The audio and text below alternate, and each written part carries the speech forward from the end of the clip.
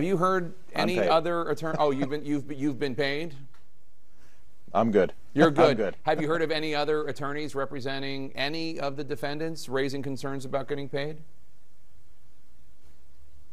Yeah, I mean, I've heard, um, yeah, I've heard that Jenna Ellis has been complaining about that.